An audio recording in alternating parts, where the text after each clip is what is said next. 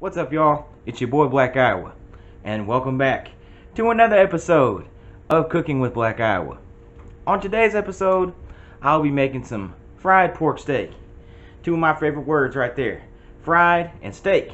We can't go wrong, but we got to get started to get moving along. Come on, baby.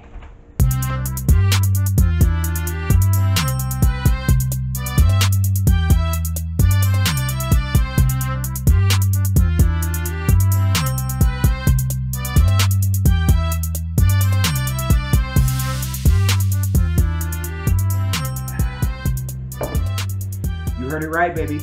Fried pork steak. Perfect for a Sunday dinner. And that's kind of what we're going to make here today. The big meal, baby. The big weekend meal. All the fixings. Mashed potatoes, gravy, green beans, and of course, our fried pork steak. So the first thing that we need to do today is go ahead and uh, get the batter up, if you will. Batter up. Got to make our batter. That's going to consist of uh, eggs in one and some flour on the side. Dip in the eggs, move to the flour, and then we're to double dip just like old George Costanza did that one time, boy. So, let's go ahead and get dirty and get to work. Come on, baby. Alright, go ahead and take six eggs, put them in that bowl, baby. Now we're to get ready to mix it up. Whisk yourself away to a world of fried pork steak, baby. Make sure that you get them good and mixed up and blended to where it's all the same color in there. And then go ahead and take that big bad dude right there, that pork steak, dredge it down in that egg.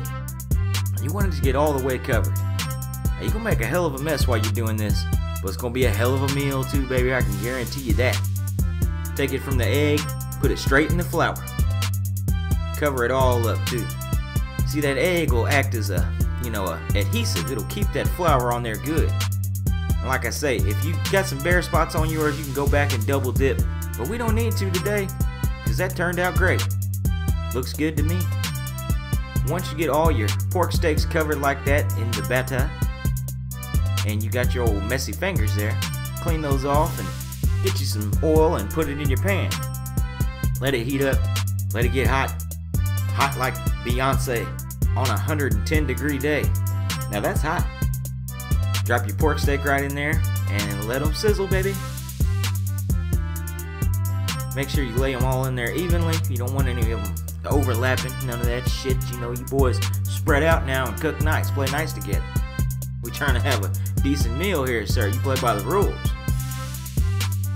Let them go for about five minutes, and then you go and get you some salt and put it right on top, baby. A little salt and pepper goes a long way with shit like this. Fried food. You don't need anything crazy, just some old salt and pepper. Put a little bit of that on top, and then you can get ready to flip. But be careful when you do, because you don't want that old popping grease to get up and grab your ass, boy. You don't want that shit. Yeah, be careful. Be careful, sir. Flip those over and let them go for about another 10 minutes. See, you want to have a, about 10 minutes aside. It would be about 20 minutes total, depending on how hot or low you're cooking it, you know but about 20 minutes is my rule of thumb, till they're golden brown. Then we can do our mashed potatoes. Now you see they got these instructions on the back of this box here of the mashed potatoes and all that does is confuse the hell out of me. So I'm gonna show you old Black Iowa's way to do it.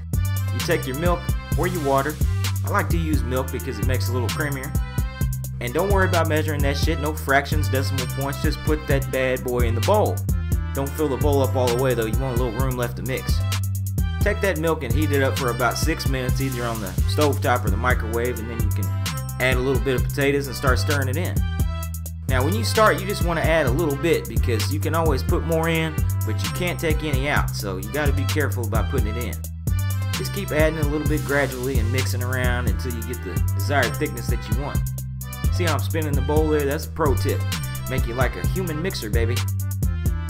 Add a little bit more and then those are just about as thick as I like them, boy. Yeah, thick and creamy. Ooh, that's dreamy. Then get your green beans, my French style green beans. And the gravy, both in the can, easy to make, no problems there. And there you go, baby. A Sunday dinner fit for king.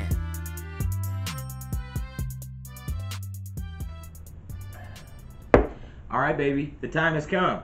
The fried pork steak is done. And I'm having the first bite for me, baby. Bam. Now that's a Sunday meal right there.